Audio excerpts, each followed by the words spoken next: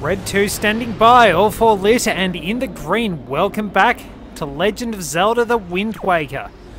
I was going to be looking up a Shakespeare quote about a cursed location, some... The one that has the mention of foul pox and lair or whatever it is. I can't remember which play it's in. I think it's in Macbeth, but I'll look it up. Anyway, nothing would be more appropriate a description for this place. The cursed hell that is Tingle Island that will drain our wallet and is operated by people in slavery. Yep, Tingle is a slave driver in this game. We have, as well as being a rip-off merchant, we have to stump up a lot of money for his services. But we are finally ready to go on with the tri- Wait! That's... Is that us? That's... No, they're fairies. That's terrifying. That's terrifying. So, yes.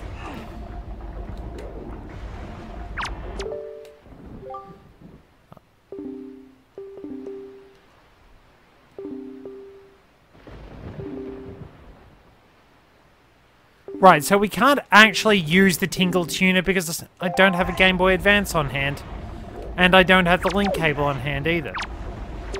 So yeah, these poor sods wind up just working in slavery. This guy has another brother. If that guy could just come spin this thing instead of me. He's dragged somebody he doesn't know into slavery. You want to punt this guy off the off the island and drown him. No wonder he was in jail. He's not the Picto Box thief, but he's a slave driver and a rip-off merchant. Send him to drown in the ocean. Alright, rip-off merchant. I haven't been longing to see you, but I have to beat the game. Right, get to... Stop creeping me out. It's bloody expensive. Can't I get them to... Can I get them done all at once? I was originally going to use uh, Mumbo's incantation for him, but I don't think he deserves it. He, oh, we have to do all of them individually. Rightio, we'll just have to speed through this.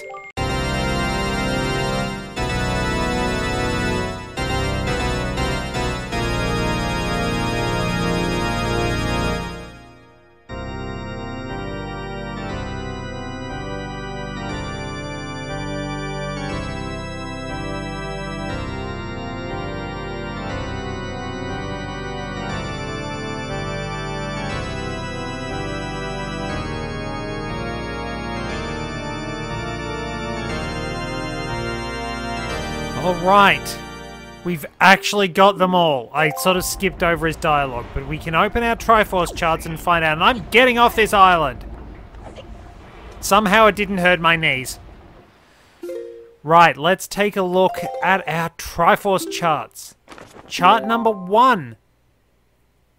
That would be amid the ruins of... Amid the ruins of Great Fish Island. That is Gale Island, I believe. That is a potato.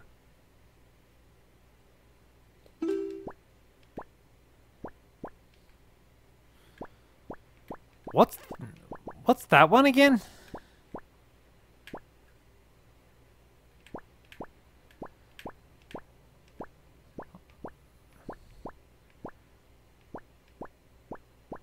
That's...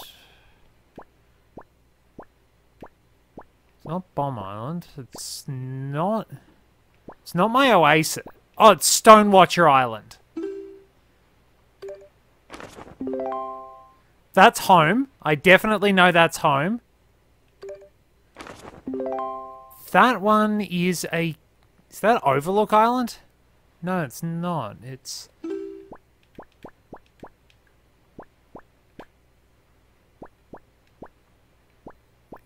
It's something we climbed. Cliff Plateau Isles.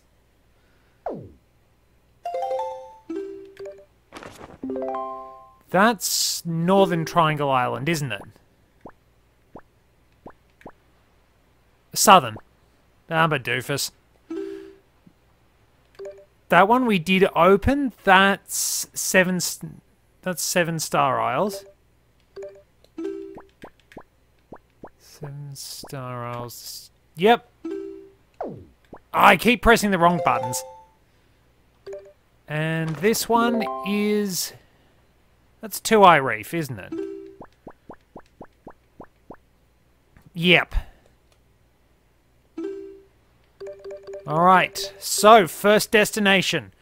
Great Fish Isle to the southwest. We're going to need some suitably heroic music as we travel the seas. I'm just going to be heading out and getting the shards of the Triforce. So we'll speed it up. We'll listen to, to some really good music. And away we go.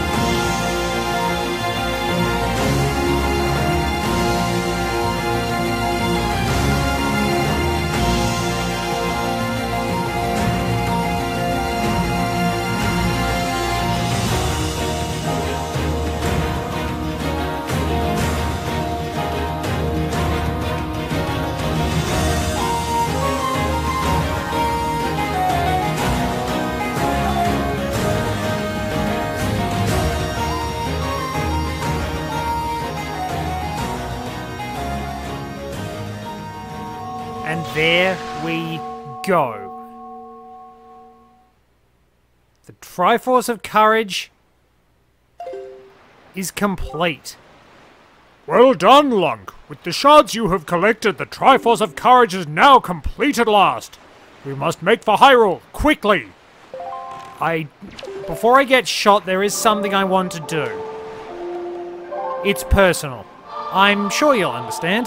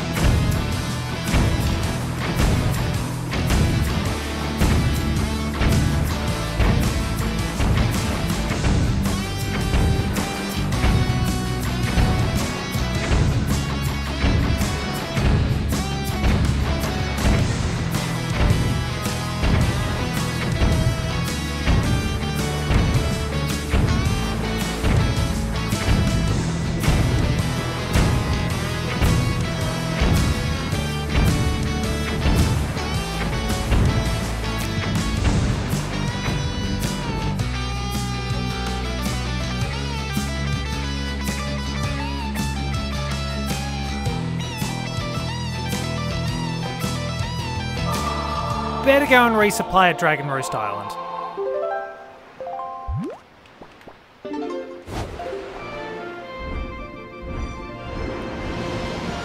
Now look, I know we were firing on a couple of people who were dragged into slave labour, but they were cursed with Tingle. They were infected by him. They'd been dressed up by him. They'd been forced to look like him. It was the only way. I regret having to do it, but they had to be killed to get the sweet release from that curse. I'm terribly sorry, but it had to be done. And now we have to chase down Beedle. Cruising speed is awful. Get back here! I saved... I saved something special for you.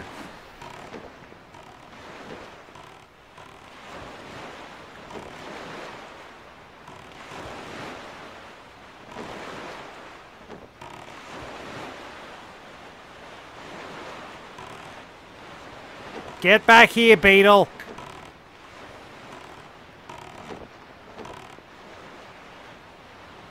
You can't run! It's the world's worst chase scene.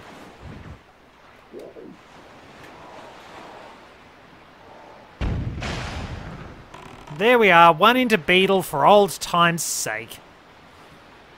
Now, let's actually buy our bombs. We're not going to need too much more to do up on the surface. We've completed what we need to.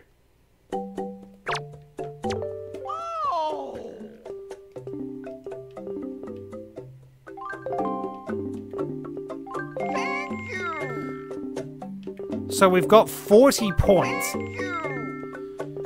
We'll have 43 after this. I don't really need to buy a lot of stuff. There we are. Bombs are topped up. Maybe I'll show off what happens someday if I just wind up going and shooting Tingle again. But with the Triforce in hand and our boat having Somehow everything has teleported us to the start of Dragon Roost Island. Let's change the wind. And then let's head to the Tower of the Gods. We have the complete Triforce in hand, and hopefully that's good for us. The ocean's biggest idiot is about to prove himself as a hero. I think It's been a wild ride To think it started out as a little relaxation project to help me de stress after life got a bit troublesome. And it turned into the best and most complete run of Wind Waker I've ever done. Except for the Picto Box quest. I hadn't worked out what to do with that, and I don't think I could manage to pull that off. I'm not sure how, how you get the bosses. But, let's go forth. And run into a cutscene. Well done, Lunk. You must show the Triforce piece you have assembled to the gods. I'm surprised it isn't held together with sticky tape and chicken wire.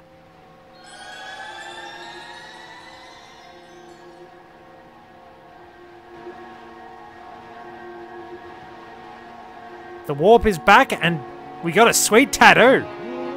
Oh, what is this? There on your hand! The Triforce piece now dwells within you! It is the Triforce of Courage, proof that you are indeed the true hero. You have controlled the wind and crossed the seas, and here, near the end of your quest, the power of the gods has been bestowed upon you. Surely from this moment on, you shall be known as the Hero of Winds. Or the Village Idiot, one of the two. Lunk, Hero of Winds. Go forth! To Hyrule, to Zelda's side! Hey, now that I'm the hero, can I finally get my Batman costume I wanted for Halloween?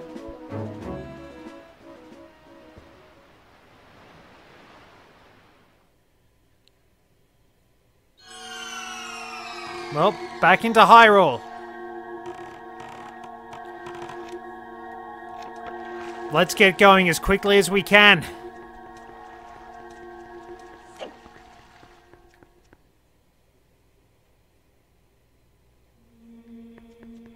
It, oh, that's that's very clever how they obscure that.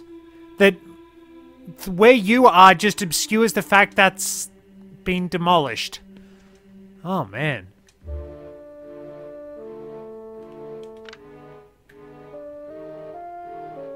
Looks kind of like the link from A Link to the Past rather than the one from Ocarina of Time. What's up with that? Something's gone wrong here, though. Oh man, we I spent too long dicking around and she's in trouble, isn't she?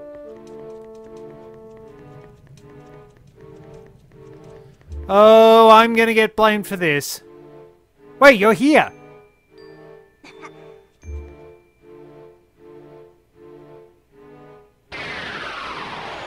Oh, great, she's dead.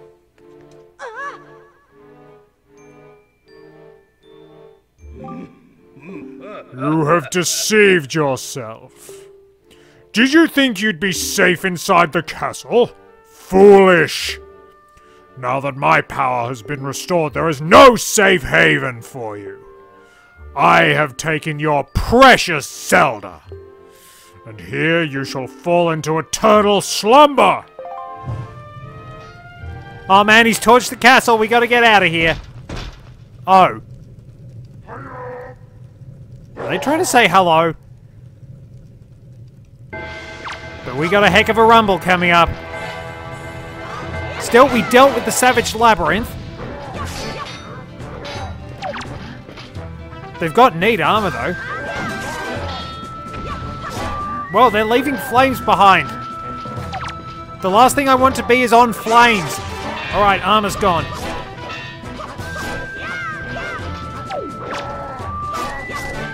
Take advantage of their openings.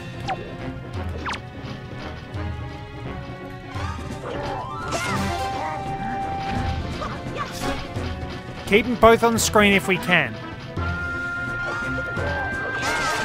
And we can start taking them out in tandem. Alright, that one's gone.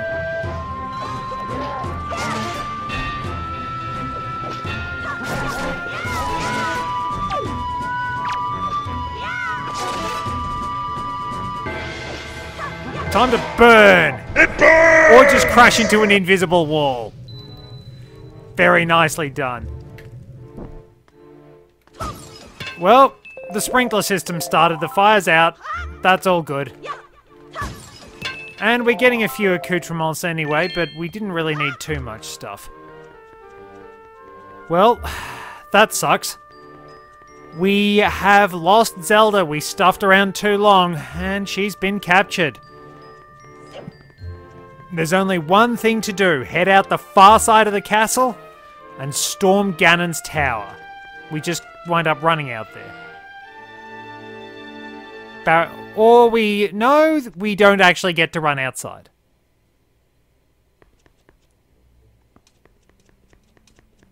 So we did go out here and run into the barrier earlier. Should be about here. Do we get hurt if we walk into it? No. But... Few fancy swings?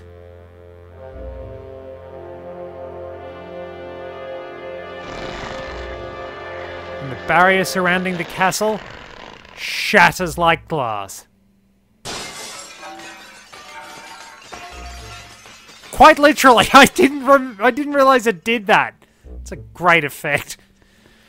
Alright, we're on the road, not to Viridian City, but to Ganon's Tower.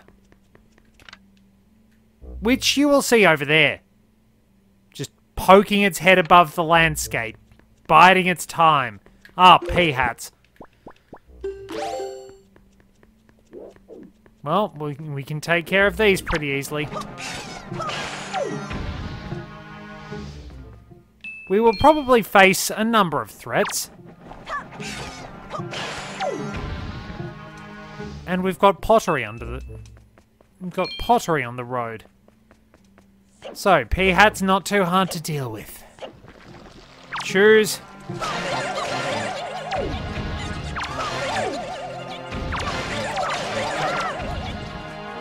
Also easy to deal with. Dude really could have put some better defenses on the road.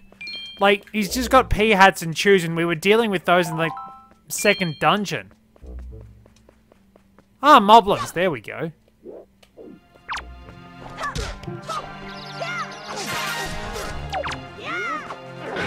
Okay, that, that guy just flat out...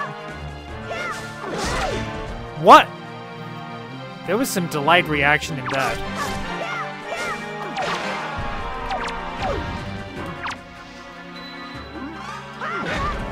Alright, so it just makes me do a straight-on attack. That's awkward. There we are. That's slightly better, but I'm... Like, half the time they actually didn't take damage from my attacks. I've stuck my sword through their head and they do no damage, and then proceed to start killing each other. It's like some sort of delayed reaction sword technique. It's like, okay, I'm gonna kill you, nothing happens, then them beating each other up winds up being as effective as my sword was. What on earth? All right. Oh, there is a dark Darknut.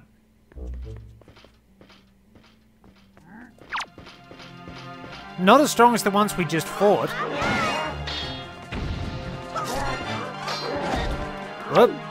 Got a little greedy there.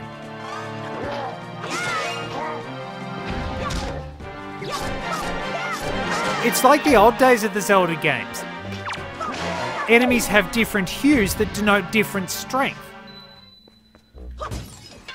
It's just that the ones with the... This time the ones with the sort of the...